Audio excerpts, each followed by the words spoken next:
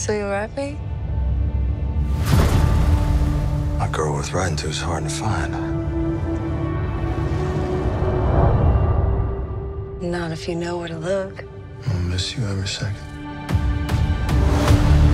Major Egan, you were the first pilot assigned to the 100th. Me and Buck Cleven. You are in charge of 35 planes and 350 air crewmen. Don't you die on me before I get over there. Something big is brewing. The 8th will be sending up the largest air armada ever assembled in the history of mankind. Straight into Hitler's territory. We need complete and total air superiority. That's the mission. What? You might be the last pretty face I ever see.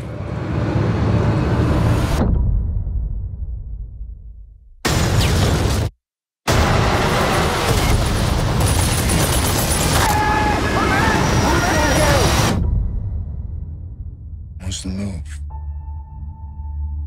We lead our boys through it. All that we do. Day in, day out. Does something to a guy, doesn't it? We're here to fight the monsters. The things these people are capable of. They got it coming. Trust me. Lord, guard and guide the men who fly through the great spaces of the sky. Are we Tuskegee men or what? Sir, yes, sir! Be with them traversing the air in darkening storms or sunshine fair. I think we may be done. We are gonna sit here and take it. We're gonna stick with our mission as long as we can fly. We won't go without a fight.